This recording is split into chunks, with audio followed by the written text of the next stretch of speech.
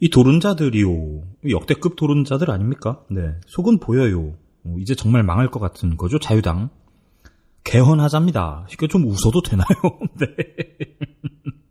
아니, 이거 상도라이들 아닙니까? 네, 너무 속이 보이기도 하고 말이죠. 오늘 민소.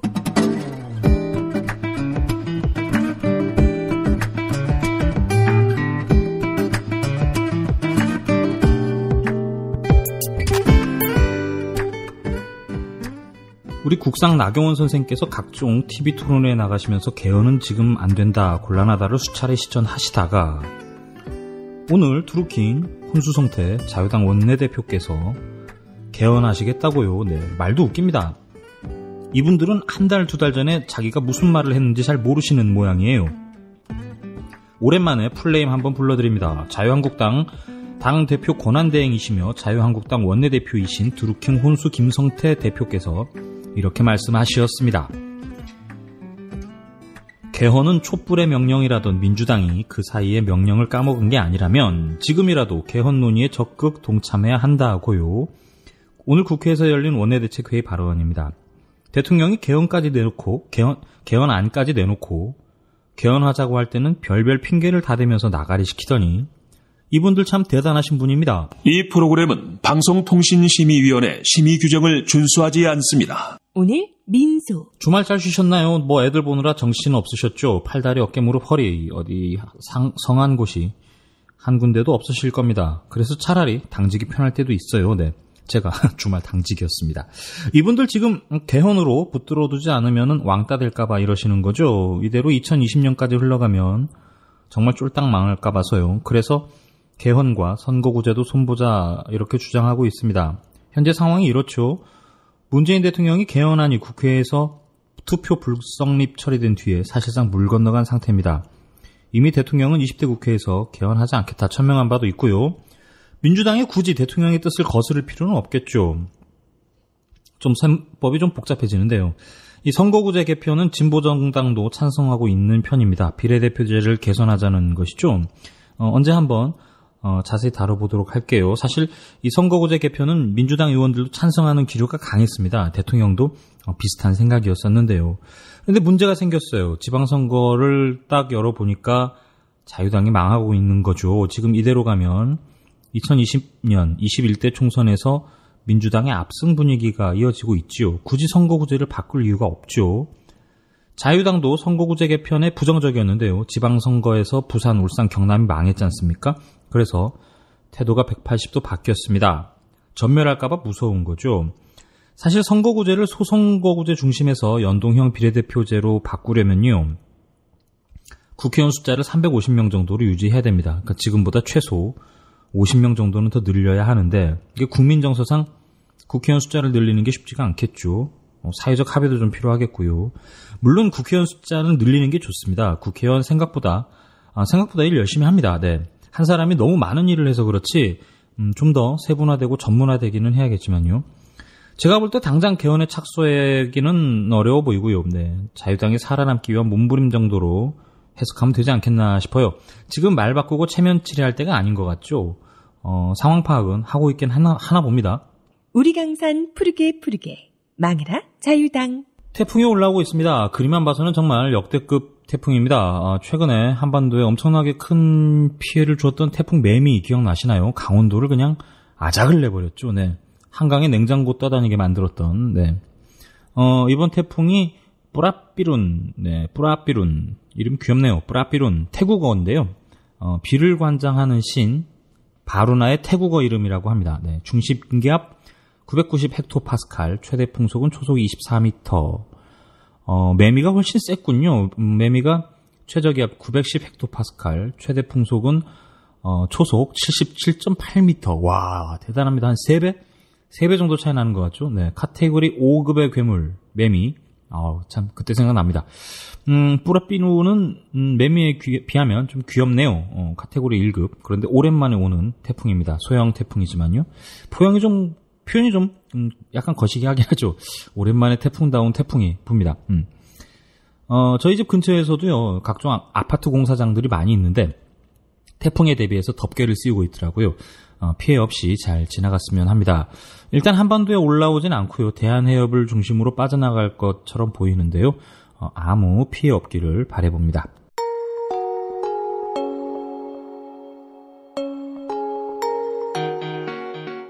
오늘 민소 디가우징 법원에서 디가우징 예, 참 웃기지도 않는 일이 발생했죠. 음, 저희들끼리는 음, 법관들이 야동이라도 보는 거냐 이렇게 조소를 보내고 있습니다. 이 재판 거래의 피해자들로 보이는 네, KTX 노동자들 그리고 전교조 그리고 통합진보당 관계자들 이 해산된 통합진보당 관계자들이 대법원 앞에 천막을 쳐놓고 농성에 돌입했습니다. 음, 태풍이 심해지면 어쩌나 싶은데요. 최근에 추강욱 변호사께서 KBS 라디오에 출연하고 계십니다. 맹활약을 하고 계시죠. 어, 저하고 한번 군대 인권 문제를 같이 녹음했던 기억도 있는데요. 음, 참 날카롭고 정의로우신 분입니다. 최강욱 변호사와 민중당 김재현 대변인의 인터뷰가 있어요. 가져오라고 가져오려고 그랬는데 KBS가 아직 일을 안 하네요. 네. 혹시 원고 작성하거나 녹음할 시간쯤에 올라왔으면 넣어드리고요. 안 그러면 다음 기회에 한번 전해드려 보겠습니다. 지금 어, 통합진보당 전 어, 관계자들이 대법원 앞에서 천막 농성을 하고 있다는 말씀 전해드립니다. 양승태 전 대법원장 시절 있었던 이른바 재판 뒷거래 의혹, 어, 검찰이 압수수색을 통해서 강제 수사에 들어갈 것인가를 두고 관심이 높아지고 있죠. 재판거래 의혹의 피해자로 꼽히고 있는 단체와 사람들이 뭐 아, KTX 해고 노동자들이라든가 전국 교직원 노동조합 등등 뭐 여러 사람과 단체가 꼽히고 있습니다. 그런데 이 가운데는 또 다른 당사자가 있습니다. 지금은 없어진 통합진보당입니다. 이 통진당 관계자들이 대법원 앞에서 농성을 시작했다고 하는데 어떤 주장을 하고 있는지 통합진보당 국회의원이었고 현재는 민중당 대변인을 맡고 계신 김재현 전 의원 연결하겠습니다. 네, 나와 계시죠? 네, 안녕하세요. 예, 예, 안녕하세요. 지난주부터 대법원 앞에서 농성을 시작했다고 들었는데 지금 비가 많이 오는데 괜찮습니까? 네, 다행히 뭐, 이 천막의 비밀을 뭐 단단히 쳐서 괜찮고요. 예. 태풍이 심해지면 어떻게 될지 모르겠습니다만 아직까지는 끄떡 없습니다. 아, 그렇군요. 지금 뭐 김 전 의원께서도 거기에 날마다 지금 어, 참여하고 계십니까? 네, 네. 지금 뭐 많은 분들이 함께 하고 계시는데요. 천막이 좁아서 천막을 늘려야 되지 않을까 하는 생각이 들 정도로 예. 관심을 받고 있습니다. 예, 그렇군요. 자, 어떤 이유 때문에 지금 그렇게 대법원 앞에서 농성을 시작을 하신 건지 청취자들께 좀 설명을 해주신다면요. 네. 어, 양승태 대법원장 시절에 이른바 재판거래 의혹을 확인할 수 있었던 문건들이 드러났잖아요. 근데 예. 그 중에서 통합진보당 관련한 문건만 지금 한 9건 정도 확인이 되고 있는데요. 어, 그 중에서도 국회의원 지휘 확인 소송, 그리고 이석규의 내라는 뭐 사건 재판, 뭐 지방의원 기획소송 이런 부분들이 있습니다. 자세하게는 조금 이따 말씀을 드려야 될 텐데요. 예. 저희는 피해 당사자로서 국회의원 지휘박탈 무효와 이석기 전 의원의 석방 그리고 무엇보다도 이런 음, 사건들을 만들어낸 양승태 전 대법원장의 구속 처벌을 요구하는 그런 농성을 시작했습니다. 예. 좀 구체적으로 좀 어, 들어가 볼까요? 그러니까 어, 이번에 공개된 뭐 여러 자료, 물론 아직 어, 공개 자료가 좀 부족하다는 그런 지적도 잇따르고 있는데, 네. 예, 그 자료 가운데 일단은 가장 좀 중요하게 생각하시는 자료나 문구가 있다면, 그러니까 통합 진보, 진보당과 관련해서 이 부분은 네. 꼭 설명을 좀 해야겠다라는 부분이 있다면 좀 설명을 해주시죠. 어, 상당히 많은데요. 예. 음, 일단 2015년 11월에 작성된 법원행정처 차장 명의의 임종원 차장으로 보이고요. 예. 어, 상고법원의 성공적 입법 추진을 위한 BH와의 효과적 협상 추진 전략이라는 문건이 좀 핵심 문건이 될 것 같습니다. 예. 어, 이것은 여기서 말하는 BH는 청와대겠죠. 예. 어, 청와대에 어, 이 대법원의 수건 사업이었던 상고법원을 관철시키기 위해서 입법을 관철시키기 위해서 어떻게 협상해야 할지에 대한 전략을 자세히 다룬 문건인데요. 어, 뭐 이 문건 하나만 보아도 음, 당시 대법원이 양승태 대법원이 어떻게 상고법원을 어, 추진하려고 했고 당시 청와대 민정수석이었던 우병우와 어떻게 협상을 진행하려고 했는지 굉장히 자세한 전략들이 담겨 있습니다. 예. 그 중에서 어, 눈여겨볼 거라고 봤던 것은요, 그 압박 카드를 어떻게 활용할 것인지라는 건데, 어, BH 국정 운영 기조를 고려하지 않는 국립적 독자적 사법권 행사 의지를 표명함으로써 이것을 압박하겠다라는 내용이 담겨 있습니다.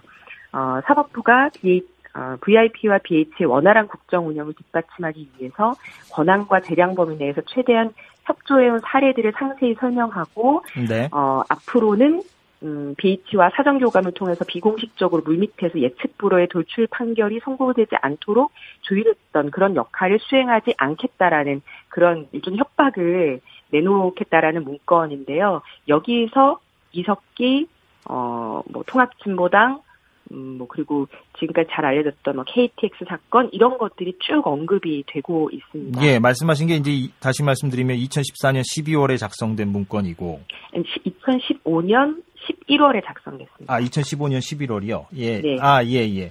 그 어, BH와 효과적 협상 추진 전략 거기 네. 그 문건 보면은 이제 말씀하신 대로 뭐 이석기 전 의원도 언급돼 있고 그 사례들로 통합진보당 KTX 승무원, 뭐 철도 노조 음, 파업. 사건, 예, 통상임금 맞습니다. 이렇게 쭉 열거가 돼 있잖아요. 네네. 그런데 이제 일각에서는 뭐 그런 얘기도 합니다. 이거는 뭐 어, 비단 통합진보당에게만 해당되는 문제는 아니겠습니다만 어, 말하자면은 그 양승태 대법원이 박근혜 전 대통령이 좋아할 만한 판결 결과를 이렇게 모아가지고 상고법원을 이제 추진해야 되니까 그런 네. 박근혜 전 대통령이 좋아할 만한 사건을 모아서 청와대에 이렇게 제출한 것이지 사전에 어떤 재판에 개입했거나 재판을 조정했다고 보기는 좀 힘든 거 아니냐 이런 네. 예 반론도 있는데 여기에 대해서는 어떻게 음, 다시 반박하시겠습니까? 네. 그 앞에 만들어졌었던 10개월 전 문건을 좀 설명을 드릴 필요가 있을 것 같은데요. 예, 어, 2015년 1월에 쓰여진 문건입니다. 제목은 통진당 행정소송 검토 보고 대외비 문건이고요. TF에서 작성했다고 쓰여져 있습니다. 다시 말해서 제가 좀 전에 말씀드린 그 문건의 10개월 전에 어, 통합진보당 해산 직후에 저희 이전 통합진보당 국회의원들이 어, 헌법재판소에서 어떠한 법률적 근거도 없이 국회의원직을 상실시킨 것은 잘못되었다라고 행정소송을 어, 제기했고요. 여기에 대해서 바로 직후에 법원행정처에서 TF를 구성해서 검토 보고를 한 22페이지짜리 문건이 있습니다. 예, 이 문건에 보면 어, 이 행정소송을 어떻게 다루는가가 대법원의 여러 이익에 어떻게 부합되고 그것을 음, 이익을 잘 관철시키기 위해서 이 소송을 어떻게 활용할 것인지에 대한 전략이 자세히 담겨 있는 정말 기막힌 문건인데요.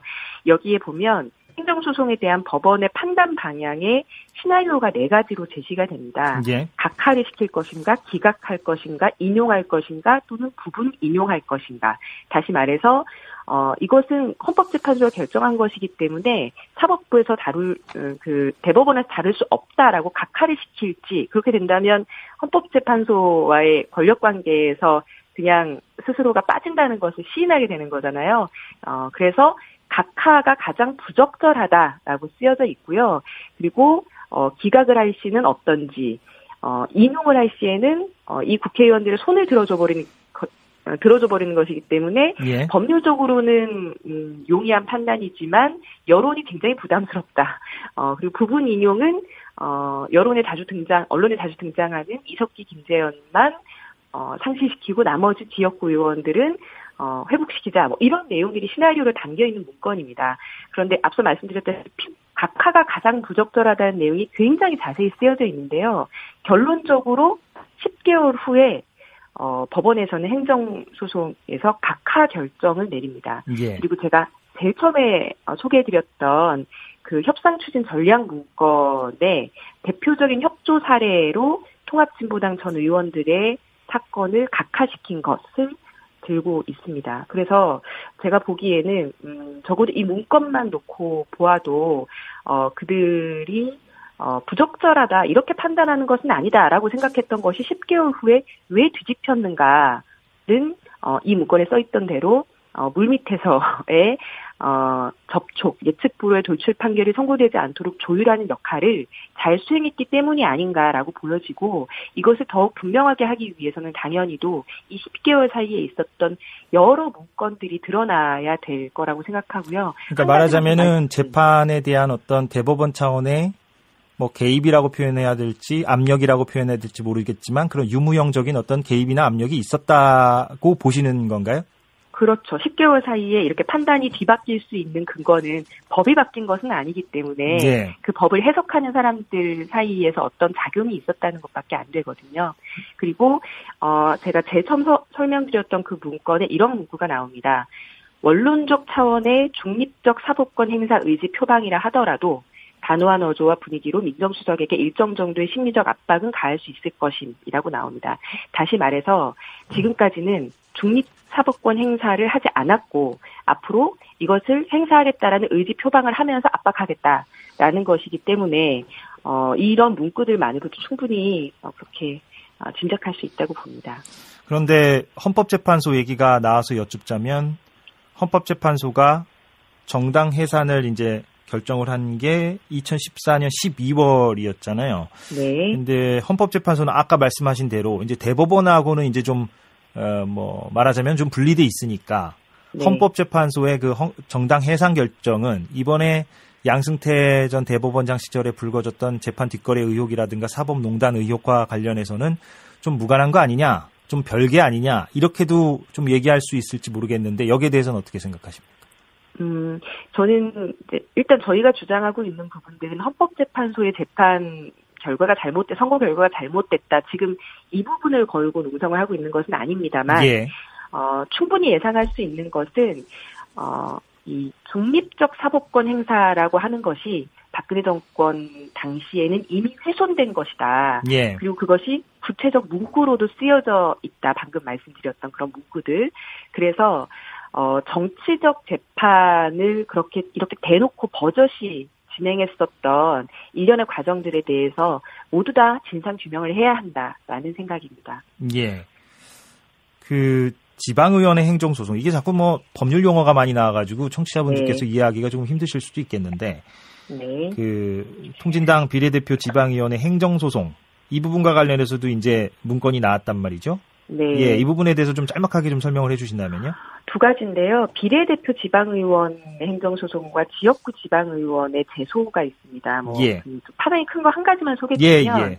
지역구 지방의원들은 어, 상실이 되지 않았습니다. 그건 어디에도 그런 법적 근거가 없기 때문에 상실시킬 수가 없었던 거였는데, 그래서 이렇게 되면 통합진보당이 재창당하는 데 도움이 될 수 있는 것 아닌가라고 그들 스스로 법원행정처에서 판단을 해서 해당 자치단체 장이 행정소송을 제기해서 그 지역의 지역구 음, 지방의원의 어, 의원직을 상실시키는 그런 소송을 해야 한다라는 일종의 기획 소송 문건이 여러 건이 작성이 됐고요. 예. 한 가지 특이한 것은 이 문건의 파일명에 BH 관련이라고 쓰여져 있습니다. 예. 어, 이런 기획 소송을 법원행정처에서 문건화했다는 것도 너무나 놀라운 일이지만 왜 이 파일의 제목에 BH 관련이라고 하는 것이 써 있는가? 저는 그 부분이 밝혀져야 한다고 봅니다. 그러니까 청와대와의 어떤 연계 부분을 얘기하시는 거겠죠? 맞습니다. 예. 그렇군요. 그 비례대표 지방의원 행정소송 관련해서는 어떻습니까? 그게 이제 퇴직 처분이 부당하다는 판결이 나왔잖아요. 1심과 2심은. 지금 현재 네. 이제 대법원에 계류 중인 걸로 알고 있는데. 맞습니다. 예. 네. 그, 이, 이 부분은 그러면 어찌됐건 지금 통합진보당에게 유리하게 판결이 난 거니까 네. 어떻게 봐야 될까요? 그러면 결과적으로는 뭐 압박이 있었지만 어, 해당 재판장이 소신껏 판결을 했다. 이렇게 봐야 되나요? 어떤가요? 음, 그런 부분들도 충분히 있을 수 있고요. 어, 저는 뭐 이런 문건들이 쓰여지고 난 이후에 여러 여론의 상황 추이라는 것도 있을 수 있다고 봅니다. 그리고 어, 이제 이 사건뿐만 아니라 저희 국회의원들의 지휘학인 소송과 관련해서도 1심에서는 각하가 났지만 2심에서는 기각이 판결이 됐고요. 지금 뭐 아직도 대법원에 계류 중인데요. 어, 이, 그 과정에서 이런 법원행정처의 작용들이 시간이 지나면서 박근혜 정권의 어, 영향력이 약화되는 과정에서 그 변화들이 있었다고 보고 이제 이 지방의원권도 그렇고 저희 국회의원들의 지휘하진 소송도 그렇고 대법원에서는 완전히 다른 결과 를 얻을 수 있지 않을까 그렇게 기대하고 있습니다. 그럼 지금 통합진보당 입장에서는 아 통합진보당 입장이라고 하기보다 이제 더 정확하게는 어떻게 뭐 민중당 입장이라고 해야 될까요? 어떻게 제가 표현해야 될지 모르겠습니다만 아, 뭐 통합진보당의 피해자들이죠. 예예. 예. 관련자. 어, 어, 그럼 이번 어, 양승태 전 대법원장 시절에 있었던 재판 뒷거래 의혹과 관련해서 종국적으로는 어떻게 뭐 재심이 이루어져야 된다고 주장을 하시는 건지요? 어, 저희뿐만 아니라 이 문건들에 언급된 피해자들은 구제와 원상 회복이 돼야 한다고 생각합니다.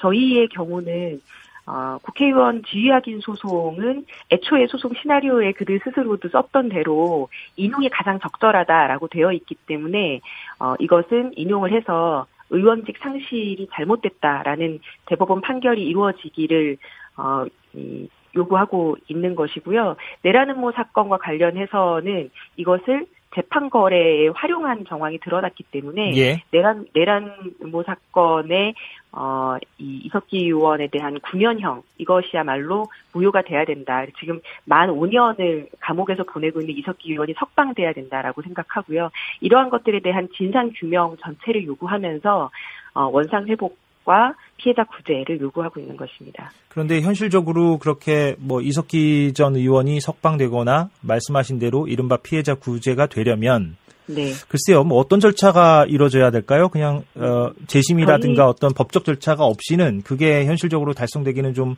쉽지가 않아 보이는 것도 현실입니다만. 어, 전 재심까지는 아니라고 생각하고요. 예. 음, 이런 뭐 저희뿐만 아니라 다른 피해 사건들도 어, 정치적 결단을 필요로 한다고 봅니다.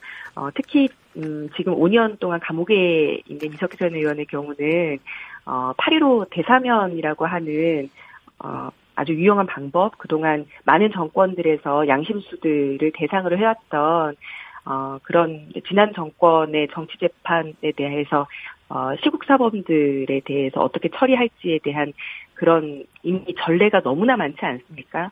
그래서 어, 지금 감옥에 있어야 할 사람들은 박기춘, 김기춘, 박근혜 이후에 양승태 같은 사법농단, 농단의 당사자들이 감옥으로 들어가야 된다고 생각하고요. 억울하게 피해를 입었던 사람들은 감옥에서 나오거나 그리고 사면 복권까지 이루어져야 한다고 생각합니다. 그러니까 청와대의 네. 결단이 필요하다는 말씀이시군요. 네, 맞습니다. 지난 예. 올 초에 있었던 어, 사면에서 이런 정치적 희생양들에 대한 사면 복권은 거의 이루어지지 않았습니다. 이제는 정말 결, 정말 결단해야 할 때라고 생각하고요. 예. 아울러서 어, 현대사법부에서 대법원에서 이 문제와 관련해서 진상 규명에 더욱더 적극적인 자세를 취해줄 것도 함께 요구하고 있습니다. 네, 알겠습니다. 오늘 말씀 여기까지 듣겠습니다. 고맙습니다. 네, 고맙습니다. 네, 김재현 전 통진당 의원이었습니다. 오늘 기무사가 세월호 유족을 사찰하고 요 맞불 집회를 지원해줬다는 의혹이 제기가 됐습니다. 이래서 적폐들은 빨리빨리 걷어내야 됩니다. 군이 민간인을 사찰했다는 건 무척 심각한 행위죠. 국가 공권력이 작동했다는 얘기예요. 기무사가 조직적으로 세월호 사건에 관여한 사실이 공개된 것 이번이 처음입니다. 기무사가 예비역 사이버 전사를 운용할 계획을 세우고 시위 정보 등 앙부 단체를 동원한 정황을 발견했다고 하죠.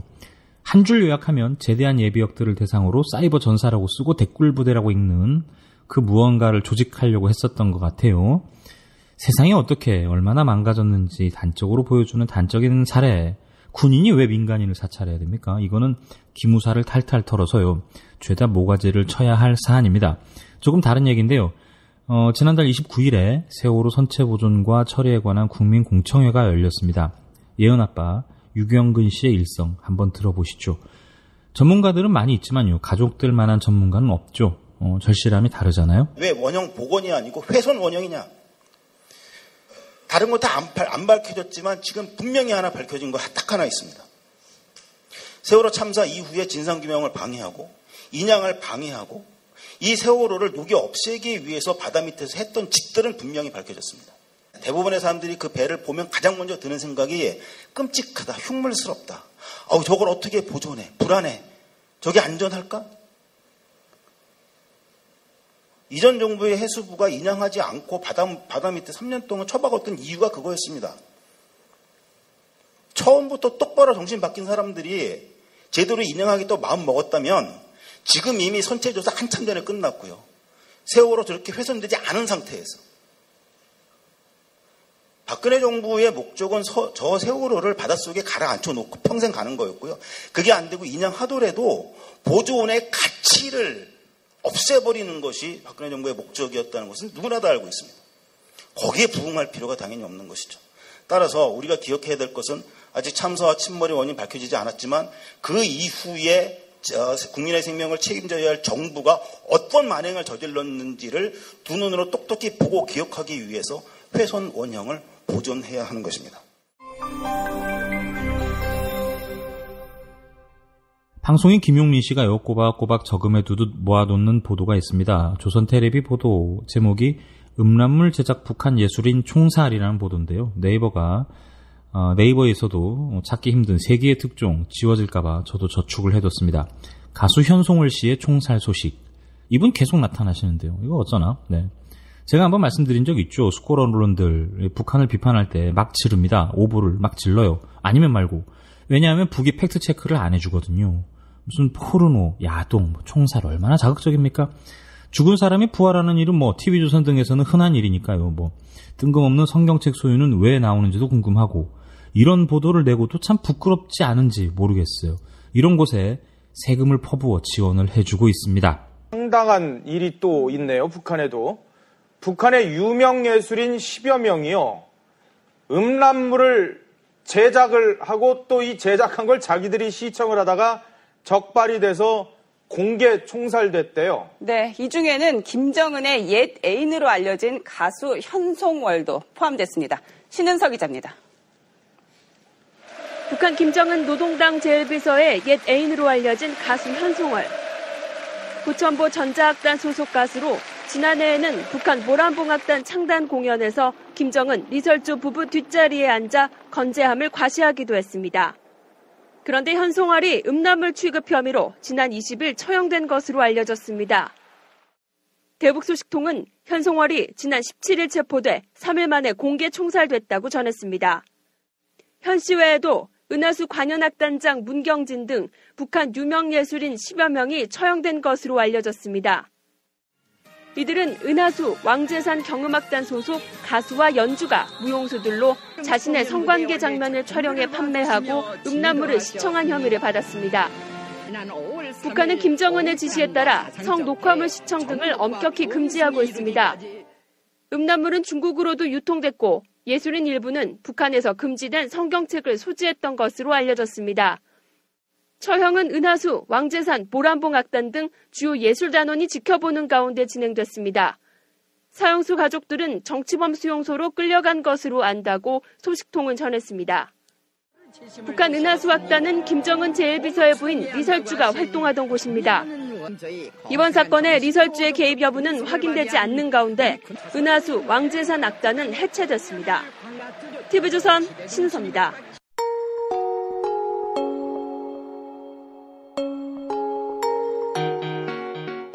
오늘 민소 어제요 노동자 8만 명이 모여서 집회를 했습니다. 최저임금 계약 폐기, 정규직 임금의 80% 쟁취, 비정규직 철폐 숱한 노동 현황이 있었는데요. 일일이 다 말씀드리긴 좀 어렵고요. 음, 전국 비정규직 노동조합 아 죄송합니다. 전국 학교 비정규직 노동조합 조합원들이 서울시청 앞 광장을 가득 메웠는데요. 어, 집회를 하면 보통 대회사, 연대사, 투쟁사 등등등이 이어지는데 어, 좀 낯선 장면을 목격했습니다. 전국 특성화고 졸업생 노동조합 위원장 이은하 위원장인데요. 이름이 좀 길죠. 이명박 때 나왔었던 마이스터 마이스터 고, 마이스터 고등학교, 네. 전국 특성화 고등학교 졸업생 노동조합 위원장. 네, 연설 내용이요, 음, 좀 뭉클했어요. 네. 편집해서 일부만 유튜브에 올렸는데요. 어, full 버전을 여기에 오늘 민소에 풀어보겠습니다. 아, 여러분께 투쟁으로 인사드리겠습니다. 투쟁! 네, 하고 싶은 말이 너무 많아서 이 안에 조금이나마 정리를 해왔습니다. 제가 지금까지 다녔던 학교에는 저희에게 맛있는 끼니를 챙겨주시고 저희를 안전하게 지켜주시고 저희를 좋은 공간에서 교육받을 수 있도록 해주신 여기 계신 학교 비정규직 여러분께서 되셨습니다. 정말 감사합니다. 저희들이 다녔던 학교에는 여러분께서 늘 계셨습니다. 학교는 학생과 교사만 있는 곳이 아니라 각기 다른 역할을 하시면서 저희들을 구성해 주시는 바로 여러분들로 구성된 곳입니다. 여러분들의 노동으로 인해서 저희가 지금까지 이만큼 성장하고 그리고 안전하게 그리고 따뜻하게 이 자리에 설 수 있었던 것 같습니다. 세포 하나하나가 우리 몸을 구성하고 있는 것처럼 여러분 학교 비정규직 노동자 여러분도 학교라는 공간의 노동 주인입니다. 세상에 노동이란 급이 없습니다. 과연 그런 게 어디에 존재한단 말입니까? 모양과 종류가 서로 다를 뿐이지 모든 노동은 가치 있고 또 그렇게 대우받아야 합니다. 여러분 맞습니까?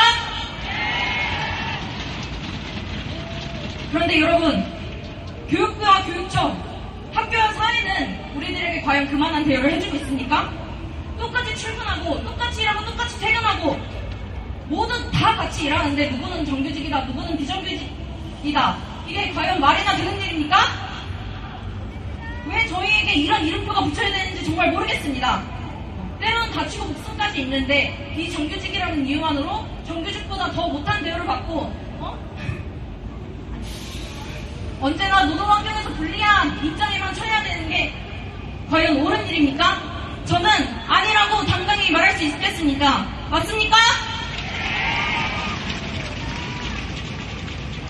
저는 올해 막 스무 살이 되었고 이제 막 노동자가 되었습니다. 노동 현장에 직접 뛰어들고 보니 저희의 세상이 얼마나 각박하고 위험한지 몸으로 직접 실감하게 되었습니다. 청년 노동자들도 지금 다른 노동자들과 별반 다르지 않습니다. 소수의 학생들을 제외하고는 모두 건설 현장 하청으로 가거나 좀 더 위험한 직장으로 아니면 몸값이 싸게 거의 팔려가는 수준으로 취직을 하고 있습니다. 위험 천만원 환경에서 그런 값싼 노동자 취급을 받고 빈번히 일어나는 임금 차별, 임금 체불, 그리고 성희롱, 그리고 학력이 다르다는 이유만으로 저희를 멸시하는 모든 말들. 저희는 이렇게 무시당해서 일하다가 위험한 환경에 처했을 때 구해지지도 못하고 그렇게 쓸쓸히 죽어나가고 있었습니다. 구의역 스크린도어 사업으로 희생된 청년 노동자, 제주 운료회사에서 희생된 청년 노동자, 이마트 무비워크에서 희생된 청년 노동자, 그리고 콜센터에서 일하다가 스스로 목숨을 던진 노동자. 저희는 비정규직이라는 이름으로, 청년이라는 이름으로, 그리고 하청 노동자라는 이름으로 수많은 목숨들을 이 사회에 내놓아야만 했습니다. 저는 이 사고들을 접하면서 그리고 제가 저한 노동행실을 접하면서 세상이 얼마나 우리에게 불리한 것을 강요하고 있는지 그리고 우리가 스스로 뭉치지 않으면 더 얼마나 많은 목숨을 내놔야 할지 감이 오지 않았습니다. 그래서 지난 5월 1일 노동절에 저희는 저희의 뜻을 모아서 전국 특수하고 졸업생 노동조합을 결성했습니다.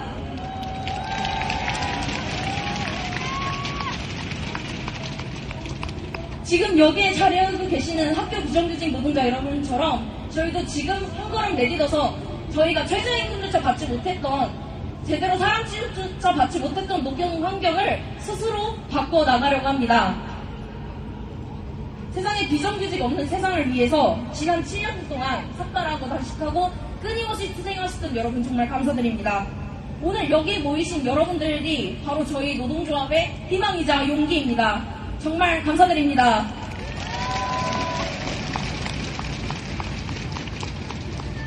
오늘 이 자리에 최저임금법 개혁으로 인해서 또다시 뭉치신 여러분들 저희가 언제나 응원하고자 합니다. 저희도 여러분들처럼 저희의 현실을 바꾸고 언제나 연대하고 앞으로 나아가는 노동조합이 되고자 합니다. 정말 감사합니다. 저희도 언제나 힘차게 연대하겠습니다. 정말 감사합니다. 주생!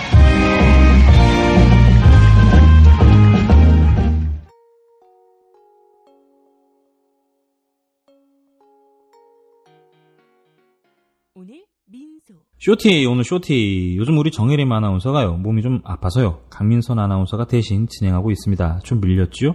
양승태의 degaussing 그리고 헌재가 결정한 양심적 병역 거부 헌재 결정. 어떤 의미가 있는지 전해드리겠습니다.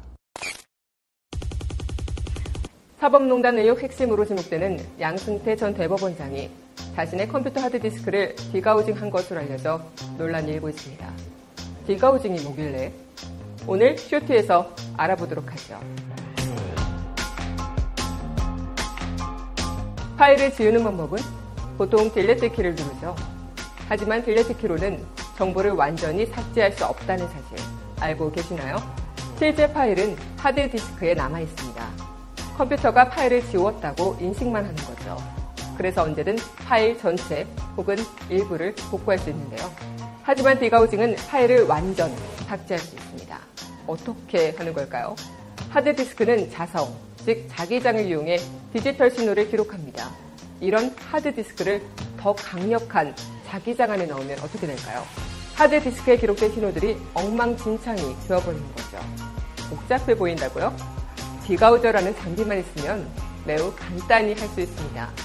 디가우저에 하드디스크를 넣어 작동시키면 10초 만에 끝! 아주 쉽죠? 디가우징이 주목받기 시작한 건 2013년 국정원 정치 개입 의혹 사건. 경찰이 압수수색 직전 컴퓨터에 저장된 정보를 디가우징 방법으로 삭제했다고 알려진 이후부터입니다. 2008년 국무총리실 민간 사찰 의혹이 불거졌을 때도 공직윤리지원관실 직원들이 증거를 없애기 위해 디가우징을 사용했죠. 이 두 사건에 개입된 장진수 전 주무관과 이인규 전 공직윤리관 모두 증거 인멸 혐의로 실형이 선고됐습니다. 하지만 이번 양승태 전 대법원장 사건은 이전과 조금 다른데요. 증거 인멸 혐의를 바로 적용할 수 없다는 사실. 법원 전산 장비 운영 관리 지침에 따르면 법원 컴퓨터는 사용할 수 없는 장비로 분류되면 데이터를 삭제할 수 있습니다. 그래서 양승태 전 대법원장은 퇴임 후 디가우징기 때문에 문제될 거 없다고 주장하고 있습니다. 일부러 증거를 인멸한 게 아니라 절차에 따라 데이터를 지웠다는 말이죠. 글쎄요. 양승태 전 대법원장이 퇴임한 시점엔 이미 사법농단 의혹이 제기된 상황이었습니다. 컴퓨터를 디가우징했다고 알려진 시기는 2017년 10월. 이땐 사법농단 의혹 재조사가 임박한 시점이었고요. 절차에 따라서 사법농단 의혹 재조사를 앞둔 시점 직접 디가우징을 지시했다. 우연치고는 너무 절묘하지 않나요? 박근혜 청와대와 재판 거래를 시도한 사실 하나만으로 사법부의 위상은 걷잡을 수 없이 무너졌습니다. 이런 상황에서 사법부는 보여주기식 증거 제출로 수사 진행을 되려 방해하고 있습니다. 하루빨리 진상 규명이 이뤄져 무너진 사법 신뢰를 회복하길 바랍니다.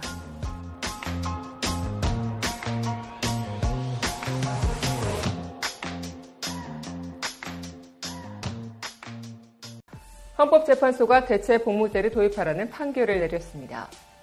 양심적 병역 거부를 사실상 인정한 건데요. 이게 대체 뭔 소린지 큐티에서 정리해 봅니다. 양심적 병역 거부, 종교적 신념이나 양심상의 이유로 병역과 지총을 거부하는 행위. 영어로 conscientious objector. 우리나라 헌법 19조에 양심의 자유가 나옵니다. 그러니 그 권리에 따라 군 복무를 거부한다는 거죠. 그럼 양심이란 무엇일까요? 무엇을 중요하게 여기는지 기준을 세우는 자신의 신념과 판단, 즉 세계관을 말합니다. 헌법에 따라 누구나 자신의 세계관을 확립할 자유가 있다는 거죠. 이런 자신의 가치 기준에 따라서 다른 사람을 죽일 수 없고 적을 죽이기 위한 훈련도 받을 수 없다고 생각하는 사람들이 나는 군대에 갈 수 없다. 총들기를 거부하겠다. 이렇게 선언하는 거죠. 그럼 이 사람들은 어떻게 될까요? 현행 병역법에서는 정당한 사유 없이 입영을 거부한 사람을 3년 이하의 징역에 처하도록 합니다. 그렇다면 우리나라에서 양심적 병역 거부는 언제부터 시작됐을까요? 1939년 일제 감정기 당시 여호와의 증인 신도 38명의 병역을 거부해서 일제가 체포했다는 기록이 있습니다. 한국 전쟁 당시에도 한 양심적 병역 거부자가 징역 3년을 선고받았다네요. 양심적 병역 거부자에 대한 처벌은 군사정권 이후에 더 강해졌는데요. 왜냐? 박정희 정권 때 법이 만들어졌거든요. 2000년까지 모두 8,000명이 넘는 거부자들이 수감됩니다. 그러다 2000년대 초반 양심적 병역 거부 문제가 사회적 논의로 떠오르게 됩니다. 그 출발점은 2001년 12월 오태양 씨의 공식 선언. 여호와의 증인 신자가 아닌 사람 가운데는 처음으로 양심적 병역 거부를 선언한 겁니다. 오태양 씨의 선언 이후에 양심적 병역 거부는 특정 종교의 이유가 아닌 인권 문제가 됩니다. 많은 청년들이 평화주의, 생태주의, 성소수자 정체성 등의 이유로 병역 거부에 동참합니다. 그동안 양심적 병역 거부자들은 통상 징역 1년 6개월의 선고를 받았는데요. 군복무 기간과 비슷한 기간을 감옥에서 보내게 되는 거죠. 그렇게 지금껏 수용 생활을 한 양심적 병역 거부자들은 약 2만 명. 해마다 500명 가량이 감옥으로 가고 있습니다. 시간이 지나면서 법원에서도 무죄 판결이 나오게 되는데요. 2004년에 첫 무죄 판결이 나왔고 그 이후에 83번의 무죄 선고가 나왔답니다. 그렇다면 이번엔 헌재 판결을 살펴보죠. 포인트는 바로 대체 복무제 도입입니다. 헌법에 따라 국방의 의무도 중요하고 양심의 자유도 중요하니까요. 그래서 두 가지를 모두 충족시킬 수 있는 대체 복무, 즉 공익요원이나 재난구호요원으로 근무하는 제도를 도입하는 겁니다. 그런데 현재 병역법에서는 대체 복무가 없어요. 현역, 예비역, 복충역, 병역준비역, 전시 근로역 등만을 병역으로 규정하고 있거든요. 그래서 언제는 이 병역법을 바꿔서 대체 복무를 신설하라고 판결한 겁니다. 이 결정은 그간 양심적 병역 거부자들이 요구한 것이기도 한데요. 그래서 양심적 병역 거부를 인정한 것이라고 해석되는 거죠. 대신 헌법재판소는 병역 의무를 기피하는 행위에 대한 처벌은 헌법에 맞는다고 판결했습니다. 정리하면 이번 헌법재판소의 판결은 대체 복무제를 도입해서 군 복무를 대체할 방안을 만들고 병역 의무 자체를 기피하는 이들은 처벌하자는 결정입니다.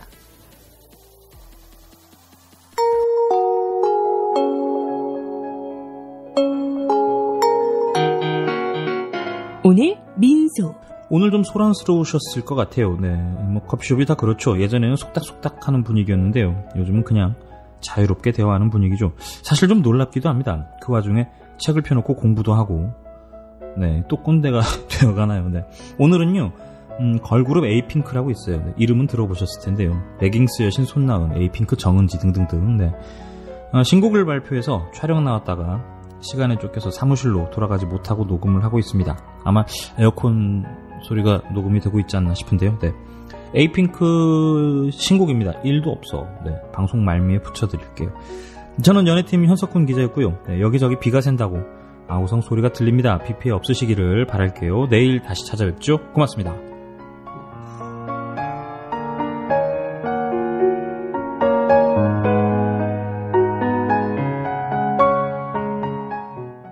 오늘 민소 I'm so sick of lying. You gotta know that.